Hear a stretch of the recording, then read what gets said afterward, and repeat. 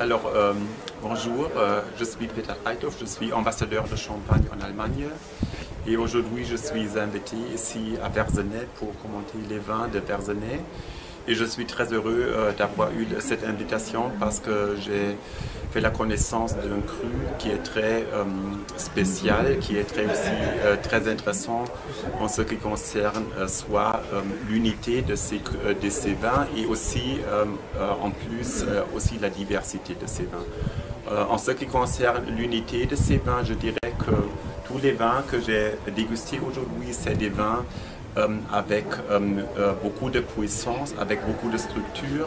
je crois que c'est surtout l'acidité qui les porte parce que le cru des les Verzenais sont, sont exposés au nord, nord-est et nord-ouest. Et j'ai fait la connaissance maintenant aussi de, beaucoup de différents vignerons qui travaillent aussi bien sûr d'une façon différente.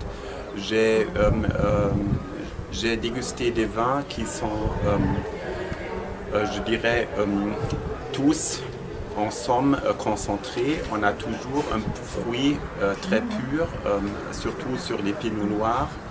Mais en ce qui concerne les différents sols, bien sûr, on a beaucoup de différentes. J'ai dégusté beaucoup de différentes expressions du fruit.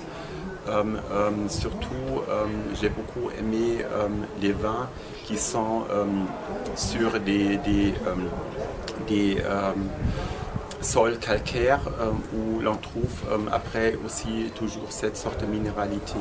J'ai dégusté tous les vignerons de l'association et j'ai trouvé plusieurs différentes expressions, comme par exemple chez chez euh, Jacques Buzyn, euh, j'ai trouvé des vins euh, avec une fruité, fruit très expressif.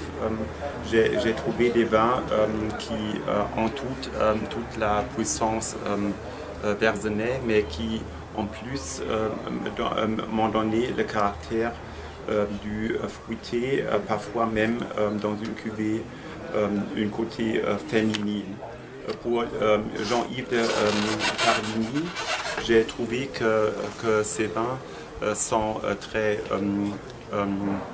de nouveau, comme, comme le Verzenay, sont très puissants.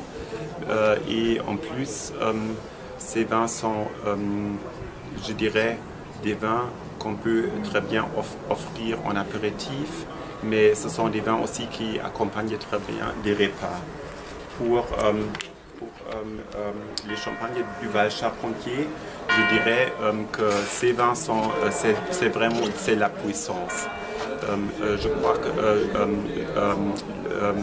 le, vigneron élève, travaille sur des, sur des sols qui produisent des vins très très puissants. Et euh, j'ai euh, euh, trouvé dans, tous ces vins cette puissance très expressive. Pour Hugues Godmé, j'ai trouvé des vins qui, sont très, très différents l'un de l'autre.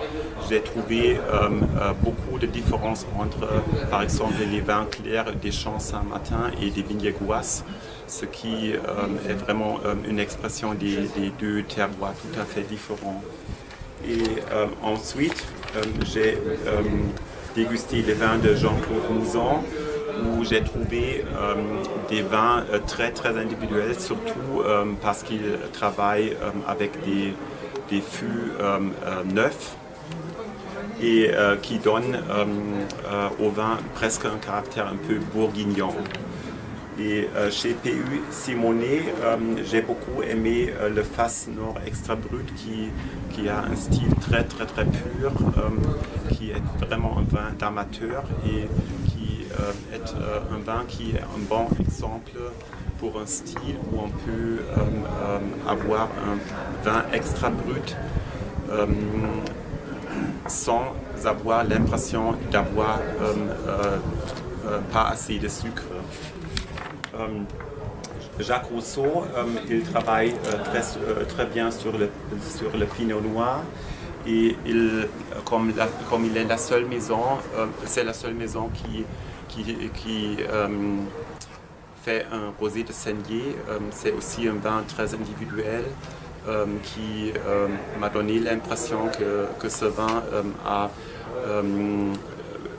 besoin de peu de temps pour aérer et après c'est une vraiment c'est une expression de fruits rouges très très nette.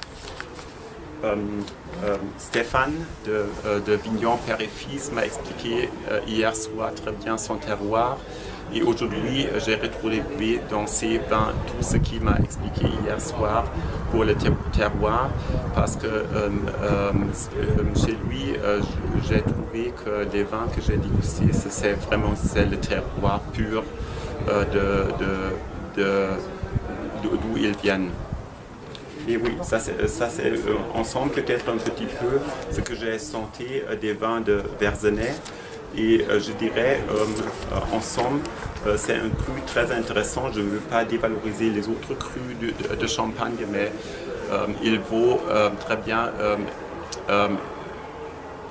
pour, chacun, il, serait bien d'aller à Verzenay pour déguster les vins.